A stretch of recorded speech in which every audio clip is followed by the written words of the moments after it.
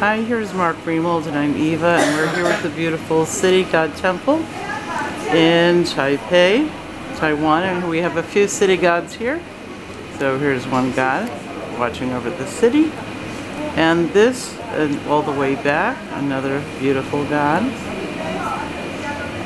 watching the city and a third god take a look over here watching the city and we have a love god.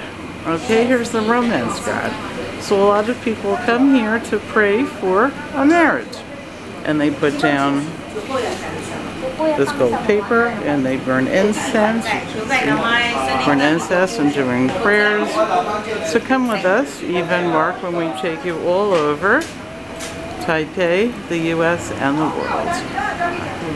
Just uh, beautiful, beautiful. Here we go. Okay, standing right in front. A little hard to see. Okay. Ni hao from Taipei, Taiwan.